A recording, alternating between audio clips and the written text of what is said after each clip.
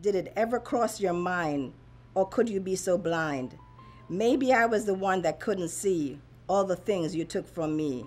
My name is Joan Hutton Mills, and I was married for 15 years to my abuser. I was silent for many years because I was ashamed and I was embarrassed and I did not want anyone to know. Our family, we've always just let things go for peace sake, just leave it alone, just peace. I said, no, I don't want to leave anything alone anymore.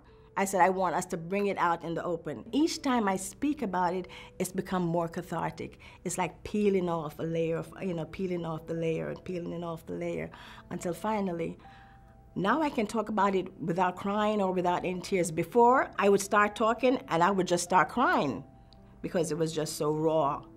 But now I'm at a place where I can discuss it, I can talk about it, and I can move forward because I'm empowered and I feel strong and I'm moving on and I'm just looking for the next chapter. I used to do poetry a long time ago, but while going through domestic violence, I forgot that I even knew how to write poetry because when you're going through domestic violence, that's not even something that enters your mind. You're just trying to survive day to day. And I realized that I could take my pain, put it on paper, and once I put it on paper, it was like, it was cathartic. It was no longer in here, it was on paper, and it couldn't hurt me anymore.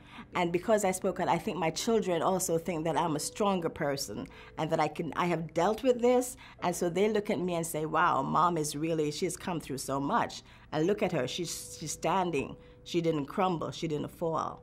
She stood tall. Now I see the light and got a chance. I found movement. I found dance. I now reclaim what you once stole. Claim my body, my mind, my soul.